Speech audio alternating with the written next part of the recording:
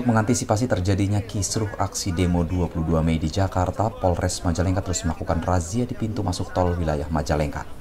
Dalam melaksanakan razia, kendaraan umum dan pribadi juga diberhentikan dan digeledah oleh petugas.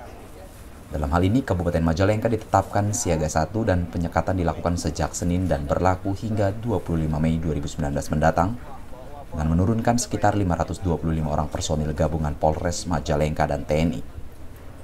Petugas memeriksa barang-barang bawaan penumpang dan isi bagasi mobil untuk mengantisipasi barang-barang yang dianggap berbahaya yang dikhawatirkan akan disalahgunakan dalam aksi demo di KPU dan Bawaslu di Jakarta.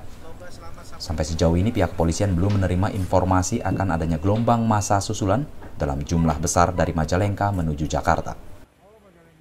Hari ini eh, seluruh personil Polres Majalengka melakukan kegiatan penyekatan dan razia yang dimungkinkan yaitu e, masyarakat yang akan berangkat ke Jakarta. Seluruhnya kita periksa dari kendaraan pribadi sampai dengan bus, seluruhnya kita periksa apakah yang bersangkutan membawa barang-barang berbahaya tentunya. Dari Majalengka, Jawa Barat, Edward Ruspendi, Tribrata TV, Salam Tribrata. Pulang.